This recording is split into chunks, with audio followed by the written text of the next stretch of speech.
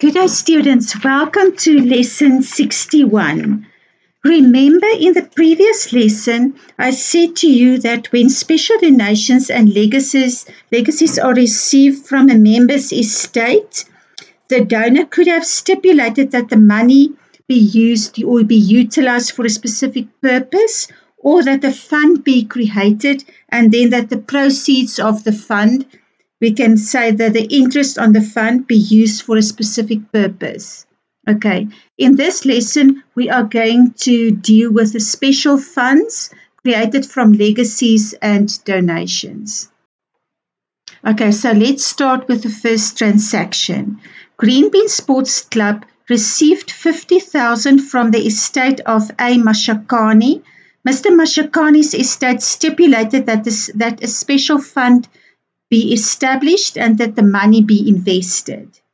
Okay, so the first thing, the first double entry that we're going to do is when we receive the money from the estate. Okay, so what is the double entry for that? We debit bank We because we receive money. We debit bank, it's an asset that increases.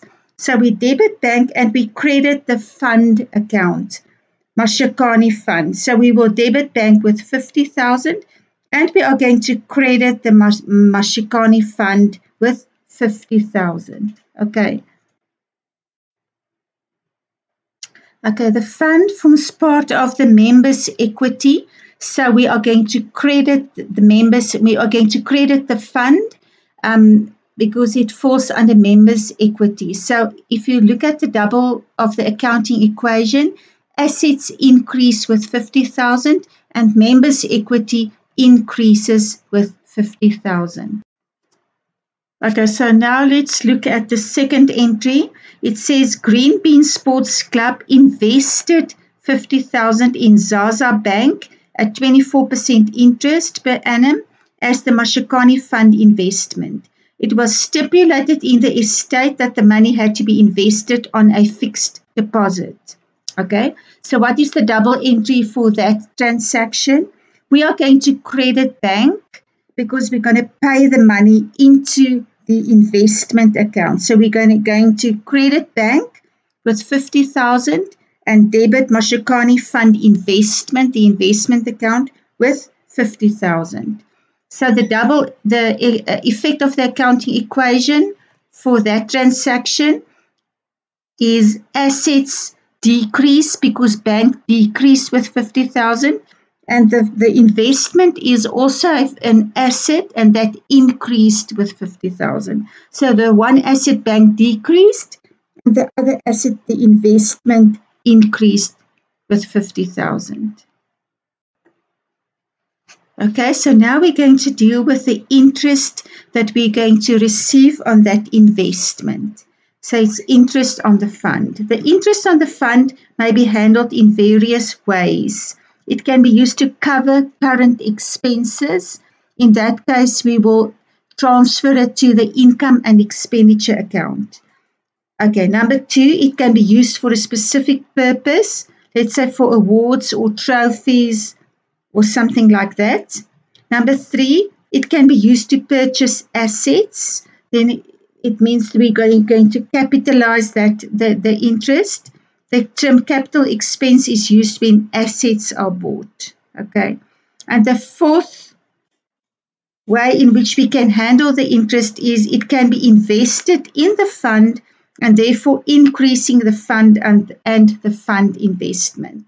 It, it is also then capitalized. Okay, so let's continue with that example on Mr. Mashakani's estate. Remember, we had the transaction that um, Green Bean Sports Club received 50,000 from the estate of Mr. of A. Mashakani, and that is that his estate stimulated that a special fund to be established and that the money to be invested in that fund. And then Green Bean Sports Club um, invested the money in Zaza Bank at 24% interest um, as the Mashikani Fund investment it was stipulated that the estate that the money had to be invested in a fixed deposit. Okay, so we already had that. We've done those transactions. So let's carry on with that example. Okay. it says there, Mr. Mr. Mashakani's estate had the following stipulations in respect of the interest. That is now the interest on that investment, the interest on the fixed deposit. Okay, 25% of the interest had to be given to the number one tennis player as a prize to enable him or her to enter the Wimbledon tournament. Number two, 25% of the interest had to be used for purchasing equipment capitalized. 25% of the interest had to be reinvested to increase the fund. It means it also had to be capitalized.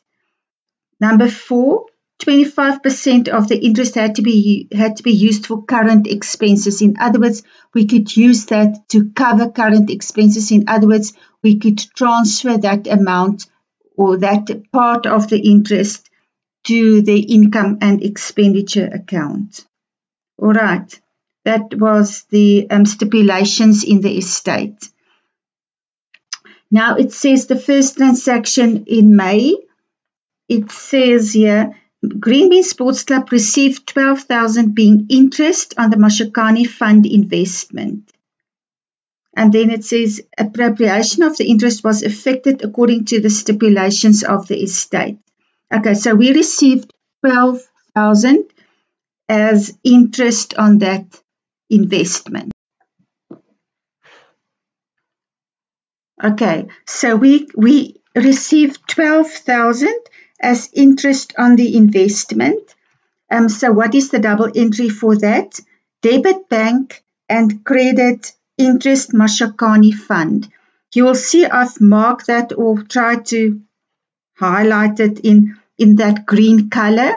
Debit bank credit interest Mashakani fund. So it's interest, okay, which is a nominal account. On the credit side, you'll see there 12,000 Rand in, in the green. Okay. Now we start with the first stipulation. 25% of the interest had to be given to number one tennis player to enable him to enter the Wimbledon tournament. Okay, so what we're going to do, we are going to transfer some of that interest to a prize account. We are going to open another nominal account and we're going to call that prizes Mashakani Fund or prizes and we are going to transfer from the interest. In other words, we're going to take out of that interest account that amount and, and sort of transfer it to the prizes account. And what is 25% on 12,000? That is 3,000. Okay. So you'll see, um, as I've said, we're sort of going to take out the 3,000 out of the out of the interest account and we're going to transfer it to the prizes account okay? And so that is on you'll see the on the debit side of the interest account you'll see prizes mashakani fund. So we debit interest and we credit the prizes account with 3000 and that amount is highlighted in orange in that orange color Okay, so let's start with the second stipulation, number two. 25% of the interest had to be used for purchasing equipment. In other words, it need to be capitalized. So you know by now that if we capitalize an amount, then we write it in the accumulated fund account. Remember, we had the same with entrance fees, where it was stipulated that entrance fees must be capitalized we debited bank and we credited accumulated fund directly. Okay, so we're going to do the same here. We're going to transfer the interest from the interest account to the accumulated fund account. In other words, to capitalize that amount. So to transfer it from the interest account, we need to debit the interest account. and we sort of take it out of the interest account. So we're going to debit the accumulated, and we're going to debit interest account with 3000 and we are going to credit the accumulated fund account with 3000 and you'll see both these amounts are highlighted in that in the purple color. Okay the third step stipulation says that 25% of the interest had to be reinvested in the to increase the fund. It must be capitalized. Okay So what we're going to do is we're going to take out 25% of the interest, which is also 3,000 Rand. So we're going to debit the interest account and we are going to credit the Mashakani fund account, Mashakani fund. So we debit the interest with 3,000 and we credit the fund account with 3,000. Okay, you'll see it's highlighted, those amounts are highlighted in that turquoise color. All right.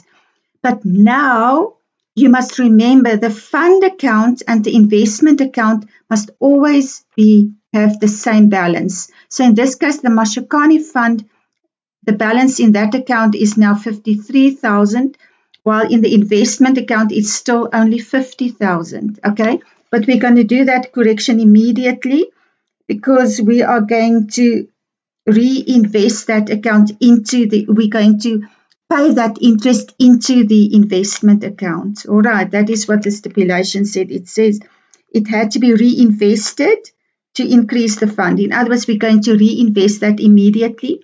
Remember when we received the, the, the, the, the interest, the bank account was debited with that full, the 12,000. Okay, so what we're going to do now, we're going to pay the 3,000 into the investment account. So we're going to credit our bank account and we're going to debit the investment account. Okay, so that is also, I've done that also in that um, turquoise color. Credit bank and debit investment. 3,000. Okay, so in this case now, the fund account, the balance is 53,000 and also the investment account is also 53,000. Okay, now the, the last stipulation, number four, says 25% of the interest had to be used for current expenses. Okay, that is very easy. Okay, so in other words, there is the 3,000 Rand that we that um, was entered in the interest account. We, we are going to transfer that to the income and expenditure account. Like normally, what we do at the end of the financial year when we transfer income and expenses, you know, to normally to the profit and loss account. But as I've said, in the with the club, we call that account income and expenditure account. All right. So what we're going to do, we're going to transfer the last 3,000 Rand that is still in the interest account. We're going to transfer that to the income and expenditure account. So I'm going to be going to debit interest and we're going to credit the income and expenditure account with 3000 and you'll see those two amounts are highlighted in brown. Okay, so now we get to the transactions where we actually do the payments or pay out the money as it was stipulated in the um, estate. Okay, so the first one is we're going to pay the price. You know, remember the first one where they said that we had, um, we're going to give that 25% of the interest to a tennis player to, to, to enable him to play at Wimbledon. Okay, so we're going to pay out to iStain that prize money. Okay, so obviously we pay out. So we're going to credit bank and we're going to remember we opened an account for prizes, which we credited that we, we credited at that stage. Okay, so we're going to credit bank now and debit that prizes the prizes account when we do that payment for Steyn. Okay, so then you will see that that pay the prizes account um, the debit side is uh, same as the credit, so that one amount cancels the other one. So that amount is entered on the credit side of the bank. You'll see it's like a, um, a light color orange. Credit bank debit prices. Okay. Okay, so then we're going to enter the transaction for the purchase of the equipment that is a normal entry, like exactly the same as we a business. Also, we a business buy buys equipment. So we we debit equipment and we credit bank because we pay cash for the equipment. We credit bank and we debit equipment. Okay, and that is um, if you see on the debit side of equipment, you'll see the bank. It's that that light color purple, light purple color. Debit equipment and credit bank. Okay, with 3000. And I have already done the transaction where we when we increased the investment. Remember I said to you you must we must do that transaction together with the fund. So because we want the fund um, the, the balance in the fund account to be the same as the balance in the investment account, investment of the investment fund account. All right. So we, I've already done that. The double entry for that was credit bank because we paid and we increased the investment. So we credited bank with 3000 and debited investment with the 3000. But as I've said, I've already explained that. Those, those entries are highlighted in that light um, sorry, what is the color? Turquoise color. Okay. Okay, so the last step in this lesson is to see what the effect of each transaction was on the accounting equation. All right, we start with the first one.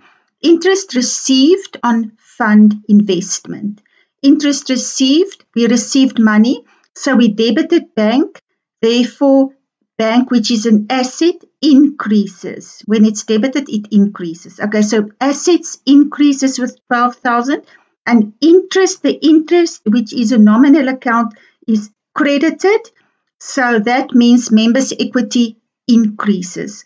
Remember that rule, what we have is that when a nominal account is debited, owner's equity, in this case, members' equity, decreases. When a nominal account is credited, it normally means it's an income, but let just remember the rule. When a nominal account is credited, the members' equity increases. Owner's equity increases, and so does members' equity. Okay, so in this case, interest was credited, so members' equity increases with 12,000. Okay, the second one is um, 3000 has to be given as a prize to a number one player. Um, what happened here is remember when we received the interest, okay, we credited that full amount in the interest account. Okay, now we're going to take it out of that interest account and sort of transfer the money to the prizes account. All right, we're going to open a prizes okay, we can call it prizes Mashakani fund, but remember the word is actually for, meant for prizes. Going to open that account. It's also in the nominal accounts. It's also a nominal account. So what we're going to do, we're just going sort of to transfer the interest from the interest account to that prizes account. So we're going to debit the interest account with 3000 and we're going to credit the prizes account with 3000. Okay and both of them are nominal accounts.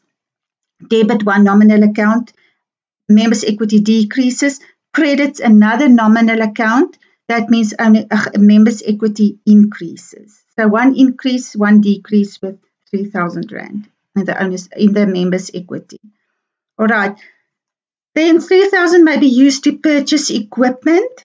So what we're going to do that we're going to capitalize that sorry, we're going to, going to capitalize that 3,000 Rand. We're going to sort of take it out of the interest account and then we're going to capitalize that. How do we do that? We debit interest because as I've said, the same principle as the previous one.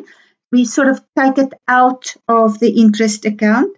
So we debit interest and we credit the accumulated fund account because Remember we said when, when it says we must capitalize an amount, then we're going to take it, we take it to the accumulated fund account. Okay, so interest, we're going to debit interest and we're going to credit accumulated fund account and that is done in that purple color. All right, so um, the interest account is debited. Interest is a nominal account, is debited, so it means members' equity decreases with that 3,000 Rand and accumulated fund is a members equity account as it is and that is credited so then therefore members equity increases remember the same principle with capital accumulated fund in the in the in when we work with clubs the accumulated fund account is the same as a capital account when we work with a trading business. So it is exactly the same principle. When accumulated fund is credited, members' equity increases. So it increases and decreases with 3,000 Rand. The 3,000 must be reinvested to increase the fund. We've already done that. Okay, so interest, we take the interest out of the interest account. So we debit interest and we credit the fund account. It's exactly the same principle as the previous one. Debit and in debit and nominal account, members' equity decreases. Credit the fund account, so members' equity increases. Okay. And then the, the last one, or not the last one, but it says 3,000 may be used to cover operating expenses. So what we do, we take it out of the interest account and we sort of transfer it to the um, income and expenses account. All right. So we're going to debit interest, debit the interest account, which is a nominal account, and we're going to credit income and expenses, which is also a nominal account. All right. Remember that we're going to transfer it to the income and expenses in expenditure account because we can use that money to pay expenses. So that's why it can be transferred to the income and expenditure account. All right. So, okay. Both are of both of, the, of these accounts, they are both nominal accounts. So interest is debited, so members' equity decreases. Income and expenditure is credited, so members' equity increases. So the one increase with 3,000, the other one decrease with 3,000. Okay. And then after the checks has been issued for the prizes, the purchase of assets and the investment of the accounting, uh, investment of the interest, the effect on the accounting will be as follows. Okay, now we paid 3,000 Rand for the prize for that person who's going to go to the Wimbledon. Okay, so what happens is if we pay out that prize money, we credit bank because it's an asset that decreases. So assets is assets will decrease with 3000 rand. And we debit the Mashakani fund the prizes account. Not so not the fund account it's an the prizes account which is a nominal account. And we debit that okay? The prizes. The prizes account which is a nominal account.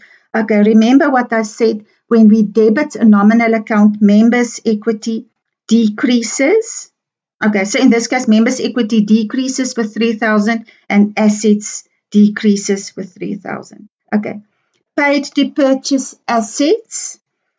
What do we do when we pay when we buy when we buy equipment? Credit bank with 3,000, which is an asset. Debit equipment with 3,000, which is also an asset. So the one asset decreases with 3,000 and the other one increases with 3,000 and then transfer 3000 to the investment account. So we're going to credit bank because remember we pay out of the bank into the investment account. So bank decreases, which is an asset, and investment increases, which is also an asset. So the one asset increases with 3000 and the other one decreases with 3000. Bank decreases with 3000 and those amounts are done in that light blue color. Okay, and that is it for lesson 61. I'll see you in lesson 62. Goodbye.